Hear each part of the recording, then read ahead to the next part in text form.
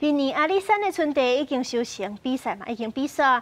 负责评鉴的第一业改良重视表示，今年春茶生长过程天气有到三降，产量袂歹，品质嘛比去年搁较好。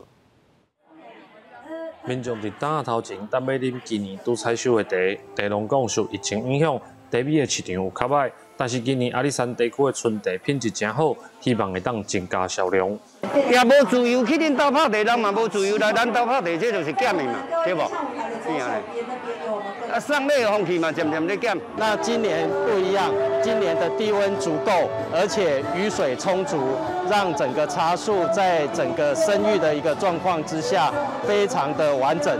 嘉义县大东拢会举办阿里山高山茶比赛。今年参加春茶地样有一千块四十六点。地界场讲，今年四月天气较冷，地叶生长慢，所以这个品质平均拢有提升。今年的茶叶品质在这几年来讲，应该以这五年来来看是最好的一年。诶，欢迎哈，生龙也袂歹，尤其今年的品质阁非常的好，好啊，所以人客只要试到哈，欢迎拢非常好。嘉义县政府表示，为了要提升消费者的信心。比赛茶米拢有生产地的履历，佮使用 DNA 分子鉴定来鉴别产地。若是有偷懒，毋是台湾产的茶米，都会取消比赛地的资格，甚至公布资料，希望保护阿里山茶产业的品质甲环境。